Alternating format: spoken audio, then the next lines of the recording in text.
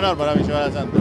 Además, hoy en el día de él, es un honor llevar a San Cayetano para que bendiga a toda nuestra familia, a todo nuestro pueblo, para que nos dé trabajo, dignidad, pan a toda la familia.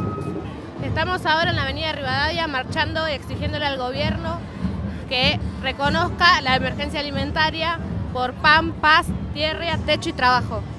Y venimos en una marcha para pelear por trabajo, por luchar por todo, planes, eh, comedores y más trabajo para la gente porque no hay ni una changa, nada.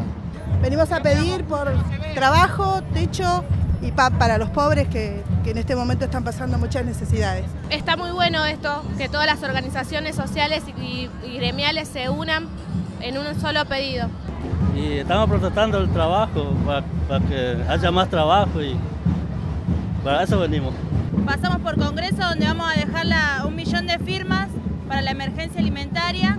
Nuestra idea es poder que esta ley se, bueno, se haga concreta, se haga una ley donde haya un seguimiento a estos pibes que tienen malnutrición eh, y donde nosotros y el Estado también mismo en realidad que se tenga que hacer responsable de todos estos pibes. Y es una expresión no solo de fe popular, sino una fe popular que ayuda también en la búsqueda de la justicia social para todos los para todos nuestros hermanos, ¿no? Porque la fe sin obras no es fe tampoco. Hemos hecho lucha de tantas cosas, entonces lo traemos al Santo Patrono para que ellos vean que no es verso, porque para ellos no hay desocupación, no sé en qué país, porque va a terminar con los pobres cuando muéramos todos los pobres. Eso es pobreza cero. Es muy importante la presencia en esta movilización que tiene la cocina de tierra, techo y trabajo, que entendemos que es lo que hay que garantizar para que la juventud pueda tener un futuro y hoy vemos que no hay futuro para la juventud y si no hay futuro para la juventud, tampoco hay futuro para nuestro país.